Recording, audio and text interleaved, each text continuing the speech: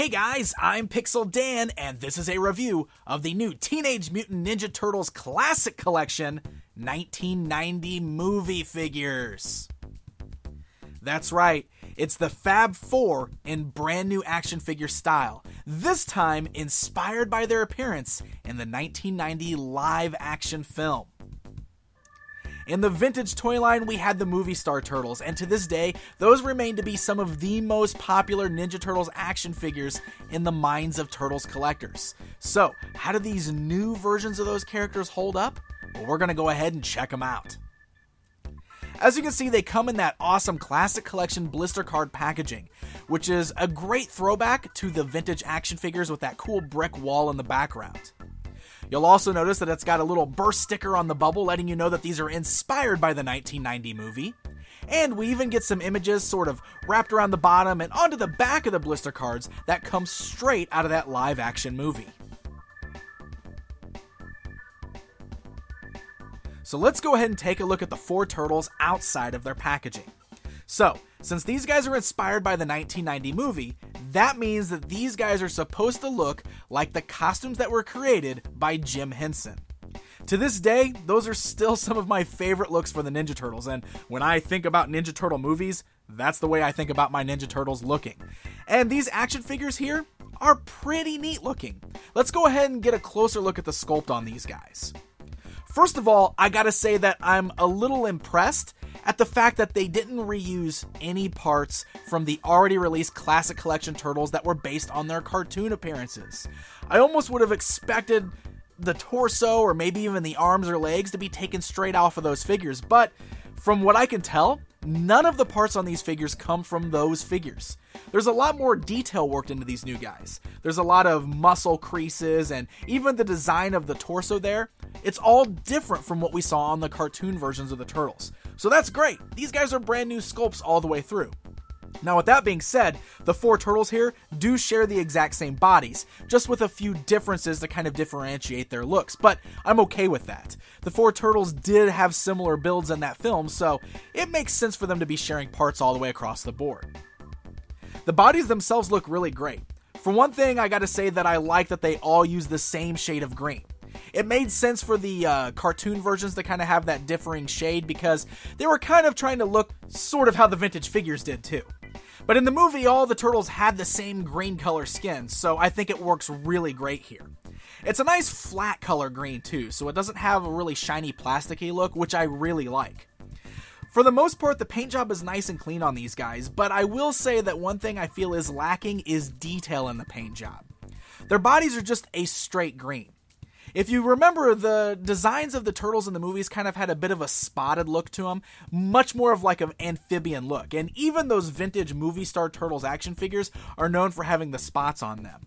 I think taking off the spots and some of those details of their skin really hurts the overall look of these guys. They're almost perfect as far as that goes, but with a little bit of added detail worked into that paint job, these guys could have looked like they jumped right off of the screen because otherwise I feel like the sculpt work is pretty good on these guys. Most of the faces are very nicely done. You can see that all of their faces are slightly different from one another. They all have different expressions, with Raphael showing some teeth with a little grin there, and Michelangelo's got a nice big smirk on his face. And even the shape of their masks are all different. One of the things I think is really great, especially on Raphael, is how more pronounced his brow is above his eyes. I think that's really cool and kind of makes their faces look a lot different from one another. So, for the most part, I like the sculpts here. But one thing I want to say is that Leonardo definitely got the short end of the stick. His sculpt just doesn't seem right. He's got sort of this teeth gritting grimace on his face, and his eyes are sort of blankly staring off. It just doesn't really look like the leader that Leonardo should. Another thing I've seen some folks kind of point out online is that it almost looks like their facial expressions don't really match their personalities. Now, I don't think they're quite that bad, but I've seen some people kind of trying to mix and match the parts on the heads, and that's actually kind of neat looking. So maybe if we would have seen this teeth gritting grimace on Raphael, for example, that would have worked a lot better than it does on this Leonardo here. Now, while their bodies are all the same, you'll notice that their belts are slightly different. So you'll see that Leonardo's got the two straps kind of going over his shoulder, while Donatello's got one solid strap. Raphael's got holsters in the front for his sais, while Michelangelo's got holsters in the back for his nunchuck. And the actual sculpt of the shell is also very nice on these guys. You can see there's a lot more detail with the spirals worked in there. So everything about these guys is actually pretty nicely done for the most part. I think the sculpts are good. I feel like the paint job could have made them even more incredible. Alright guys, let's go ahead and take a closer look at the articulation on these new 1990 movie turtles. Now if you already picked up the other classic collection turtles based on the cartoon series, you pretty much know what to expect as far as the articulation goes. It's pretty much the same on these guys, and it is the same across all four figures. So, we'll go ahead and grab Leo here, and I'll show you exactly what we can do. The head's on a nice little ball joint, so it can turn left, it can turn right, it can move up and down, kind of rock all the way around there. It's a nice tight articulation at the head, which is nice. Uh, the bandana on the back is kind of a nice rubbery plastic, so it flexes around. It doesn't hinder the movement at all. You got ball joints at the shoulders, and one thing I want to note, the ball joints on all of these guys are really tight at the shoulders. So you definitely want to be careful because when you try to bend the arms, you'll notice that the peg at the uh, bicep there will kind of bend a little bit because the articulation is so tight at the shoulders. Um, and it's really loose on the bicep. You got to spin on the bicep there that joint's really loose. So it's not a good combination with the really tight shoulder joint. So definitely something to be cautious of. Um, all four of my turtles are like that. So I don't know if they're going to be like that for everybody. Definitely something to be careful of. Don't bend it too hard and, and snap the arm off your turtles. Uh, they got nice double joints at the elbows, which are nice and hidden by the uh, elbow pads, which is really cool.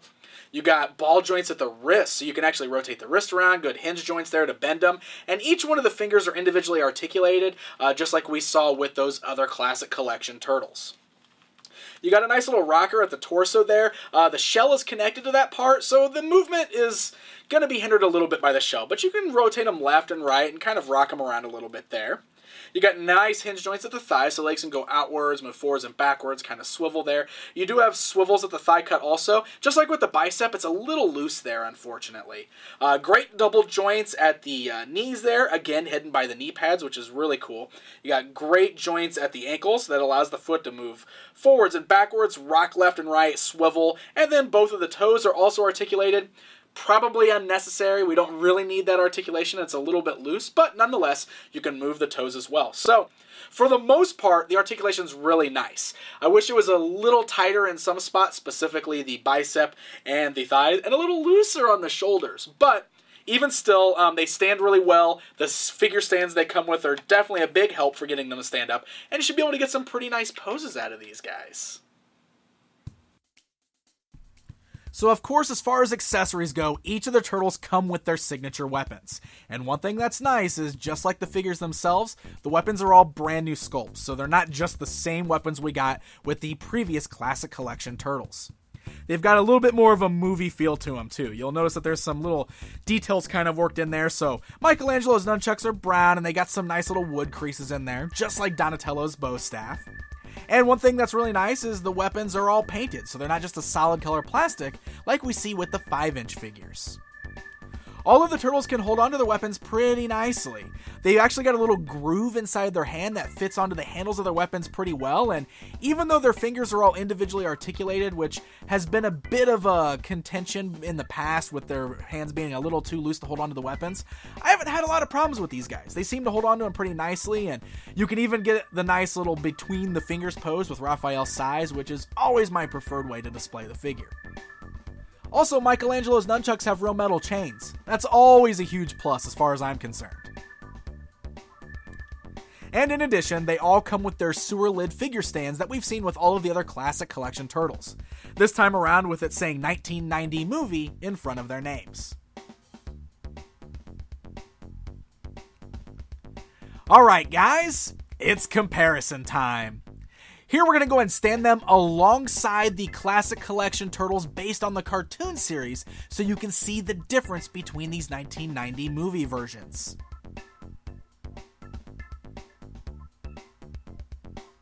And now let's stand them alongside the vintage movie star turtles, the first versions of action figures based on this movie. That way you can see the difference between the two. Look at the sculpts and the details on the skin on those old ones. I really wish we had that on these new ones. So there you go, my friends. There's a look at the brand new 1990 movie Turtles from Playmates Classic Collection. Overall, I do really like these figures. Like I said, I think the sculpts are very nicely done on these guys. And while some may say that the uh, facial expressions don't quite match the turtles, I do really like the sculpts of the faces, and I especially like how the eye masks are all slightly different from one another. I definitely think the lacking point on these figures is the paint jobs. If they would have had more details painted on, such as the spots, or even had more details worked into the sculpt of their skin, like some more scaly looks to them, these guys would have looked even more like they jumped right out of the movie. And the articulation is a little loose in some spots still, just like we saw with the other classic collection figures. But overall, still nice toys. I really like these figures, even though they're just another version of the Turtles, and I think fans of the old 1990 movie will really like these guys and would love to add them to their collection. These figures are Toys R Us exclusives currently, and they're hitting store shelves right now. So happy hunting, my friends, and until next time.